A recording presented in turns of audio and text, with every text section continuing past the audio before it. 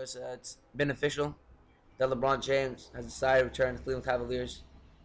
According to this article, uh, LeBron decided to go for four years now, and um, I think it's gonna be a good thing for him. He's gonna go back and he's gonna win some championships. All right.